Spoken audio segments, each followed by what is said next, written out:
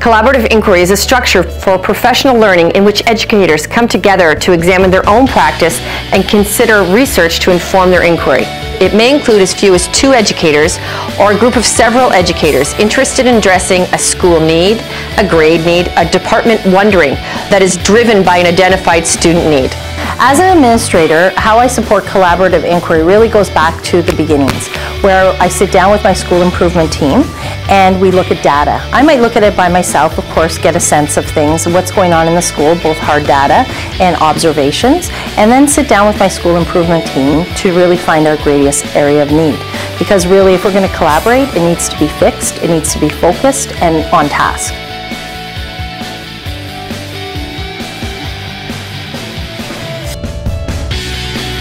Through the co-learning I was engaged in with the Swiss teacher, I was able to deepen my understanding of assessment and participate in ongoing reflection of the student learning experience.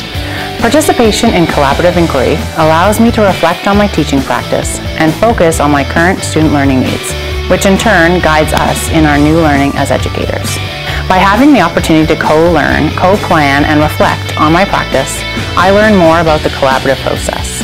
Throughout the year, we were in a state of constant inquiry, always wondering what moves we could make that would impact the students. In a collaborative inquiry environment, educators work together to define a problem, to co-teach, to co-plan, to co-monitor, and to interpret the outcomes and then reflect to consider what's next.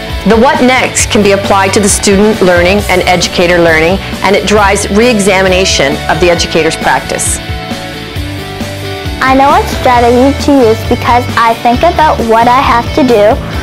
I have to subtract, make a pattern, add, find out how many are left. I think about what strategy is easiest for me. This year, I was fortunate to be part of a collaborative inquiry that focused on balanced instruction and in numeracy. Through the inquiry, we focused on documenting the student learning and then made changes to instructions that supported what the students were telling us and showing us in their work. Through my observations, conversations, and examination of student work, we are able to identify a need, act on it, and monitor to see if our adaptations impact the student learning experience. One of the most successful changes that we made was implementing guided instruction. Um, we also try to have a doors open policy where teachers who are doing great things and want to share with other teachers to open up the classroom to other teachers to come in during maybe their planning time um, to see what's going on.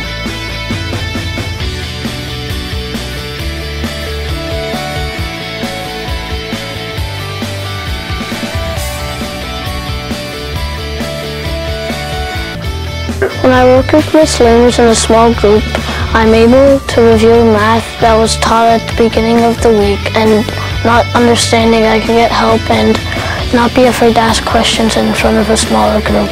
It also helps me learn more and to think about how other people solve problems. After I finish my problem, I check my work by rereading my work. And then I choose another strategy to make sure I was right. The purpose of collaborative inquiry is twofold. First, to improve student learning, achievement, and well-being, and then to promote professional learning for educators.